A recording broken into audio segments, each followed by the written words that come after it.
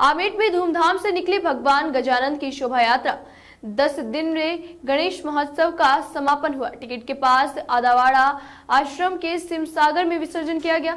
इस अवसर पर सिद्धि विनायक मंदिर सेवा समिति के संरक्षक एवं नगर पालिका चेयरमैन कैलाश मेवाड़ा, अध्यक्ष मनोहर सिंह राठौड़ पुजारी पप्पू दास, वैष्णव माधव सिंह पवार सहित बड़ी संख्या में श्रद्धालु उपस्थित रहे।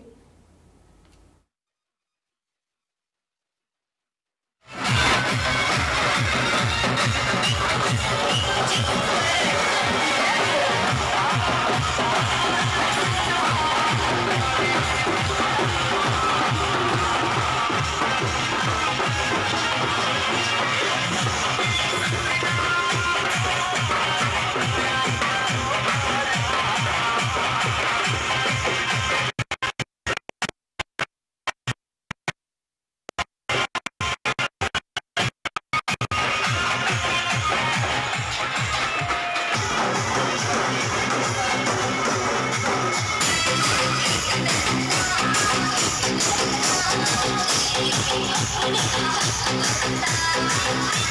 you.